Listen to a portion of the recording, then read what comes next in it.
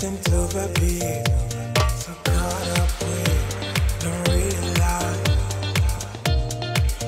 Dropping to our feet.